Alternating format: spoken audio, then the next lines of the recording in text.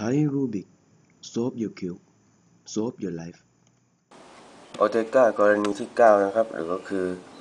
กรณีสุดท้ายของออเตกานั่นเองนะครับ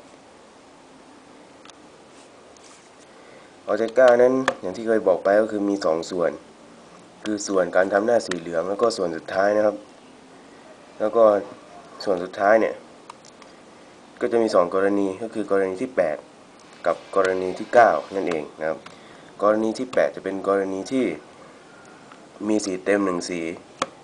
ส่วนกรณีที่ 9 จะเป็นกรณีที่ไม่มีสีเต็มสักสีเลยนะครับ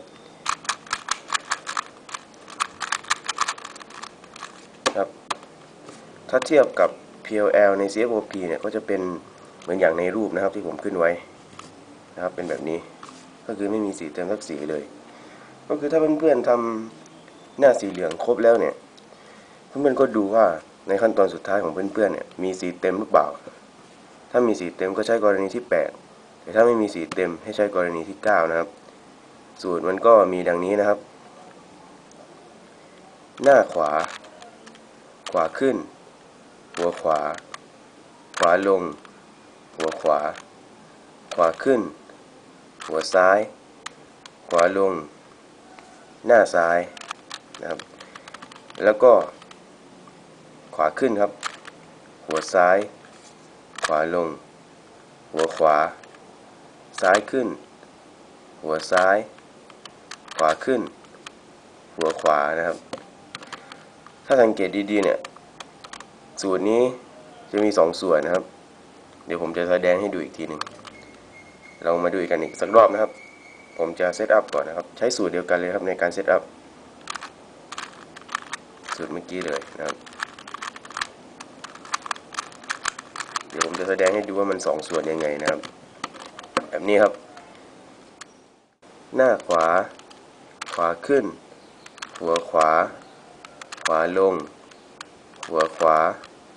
ขวาขึ้น หัวซ้าย ขวาลง หน้าซ้าย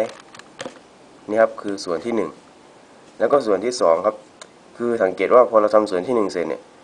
สีเหลืองจะกลายเป็นแบบนี้นะครับ เราก็ใช้สูตร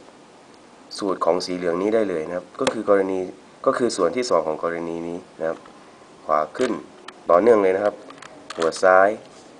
ขวาลง หัวขวา ซ้ายขึ้น หัวซ้าย ขวาขึ้น แล้วก็หัวขวานะครับจะสังเกตได้ว่ามันเป็น 2 ส่วนแบบเมื่อกี้นั่นเองนะครับ ก็จบกันแล้วนะครับกับ อเทกาทั้ง 9 กรณีนะครับ ก็หวังว่าเพื่อนๆจะสามารถพิชิตรูบิก2คูณ2ภายในเวลาแค่ 5 วินาทีได้นะครับ พยายามฝึกไปให้คล่องนะครับ ฝึกเรื่อยๆ ฝึกให้คล่องนะครับ ก็จะสามารถพิชิตเวลานี้ได้ ทีนี้เนี่ย นอกจากสูตรออเทกาแล้วยังมีสูตรที่อยู่เหนือกว่าสูตรนี้อีกนะครับ ก็คือถ้าเพื่อนๆสังเกตเนี่ย เวลาเขาแข่งกันเนี่ย ในรูบิก2คูณ2เวลาจะอยู่ที่ไม่ถึง 1 วิด้วยซ้ำนะครับ นั่นก็คือสูตรที่สูงกว่าสูตรนี้นั่นเอง ก็ในอนาคตอาจจะนำมาสอนให้เพื่อนๆได้ฝึกกันด้วยนะครับผมก็สำหรับคลิปนี้ก็หวังว่าคงจะเป็นประโยชน์กับเพื่อนๆไม่มากก็น้อยนะครับ ก็อย่าลืมกดไลค์กดแชร์กด Subscribe ด้วยนะครับผม สวัสดีครับ